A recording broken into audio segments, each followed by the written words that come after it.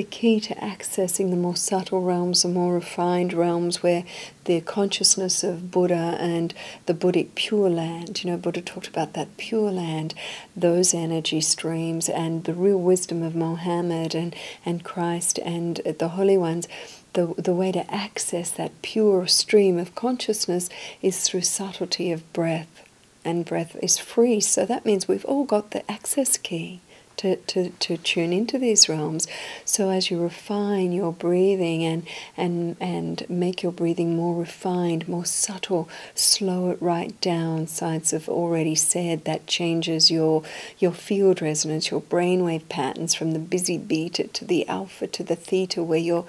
Mm, very slow, very relaxed. And so, for us, when we come into these really subtle realms where we can be fed by the pranic flows, where we can be nourished in an alternate way, it does actually take great sensitivity, which we achieve by our lifestyle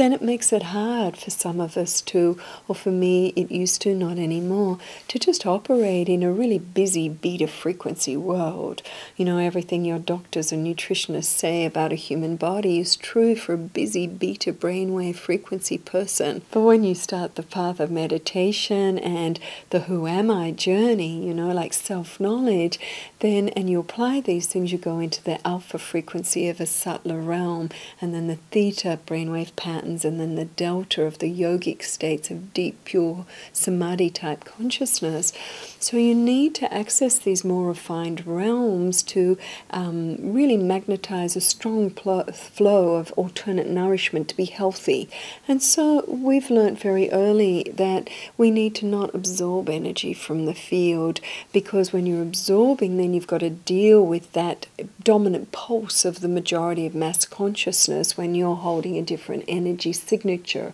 or keynote or pattern. And so we invite people just to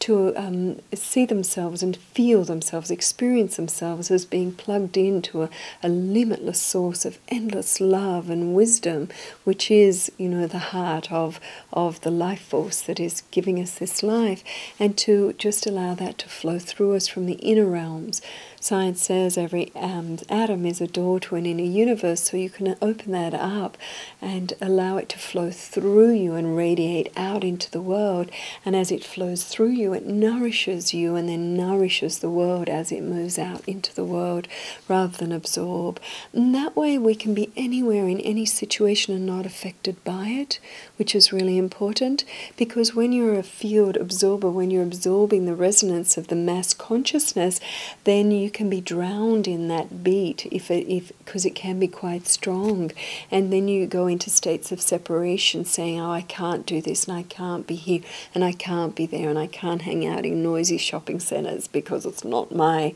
you know, it doesn't feed me." So we just really invite people to um, come into a state of stepping into that field of love within and really opening to radiate those frequencies through us so it nourishes us first to nourish the world. So we're field radiators, we're field feeders, not absorbers and drainers. And it's a different paradigm, a different way of existing, and it gives us more freedom.